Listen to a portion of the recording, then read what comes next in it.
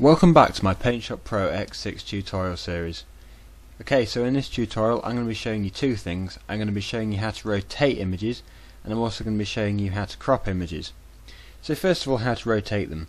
Okay, so basically just open your image up for a start and then click on image at the top and then click on either rotate right or rotate left.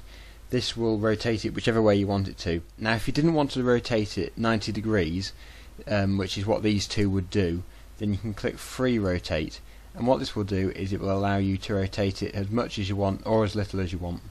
So for example if I rotate it only 10 degrees you'll be able to see that if I click OK then it's only rotated it 10 degrees. So it's as simple as that to rotate images in PaintShop Pro.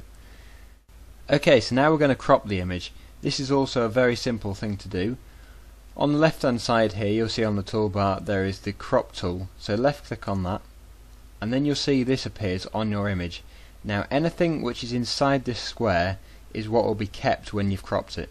So to adjust the size of this there's little boxes on each corner and on the side to adjust the size of it.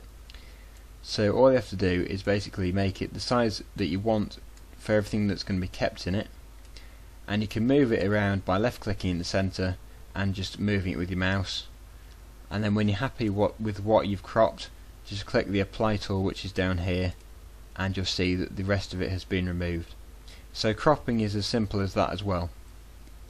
I hope this tutorial has helped you. For more like this in the near future please stay tuned